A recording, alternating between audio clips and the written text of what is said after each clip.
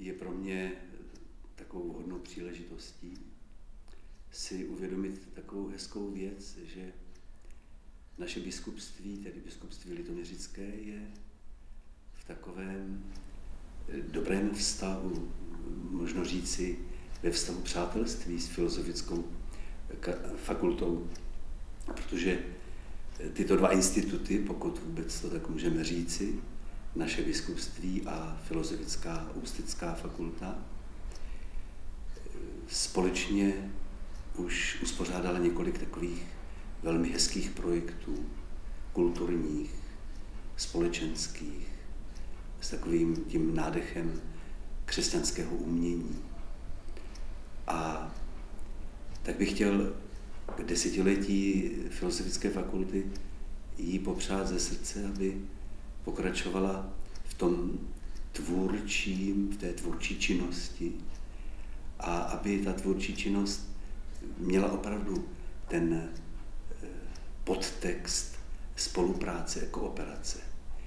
Protože říká se, že filozofie nebo filozofia je est ancilla teologie, ale samozřejmě, když to říkám já jako, dejme tomu teolog, tak to nemyslím pohodlivě, že by filozofie byla služkou nebo žačkou nebo učednicí teologie. Ale myslím to tak, že filozofie vůči teologii je přítelkyní. A jestli, a já to tak opravdu chápu, jestli teologie je takovou dobrou matkou, tak dobrá matka vždycky objímá ty své děti, své dcery. Tak filozofie může být vůči teologii takovou jednou dcerou, která je neustále v tom obětí té své matky. A matka je dobrou matkou, když dává příležitost svým dětem. A děti, dcery a synové, dobré matky, jsou dobrými dětmi, když mezi sebou vzájemně spolupracují.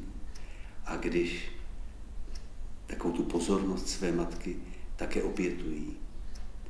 A já bych si velmi přál, kdybychom v tom výhledu do budoucnosti, třeba do dalších jubileí nebo do dalších výročí, kdybychom udrželi právě tento přátelský vztah mezi biskupstvím a filozofickou ústeckou fakultou už také proto, že právě na filozofické fakultě máme už několik přátel, takových dobrých přátel a s dobrými přáteli se dobře spolupracuje.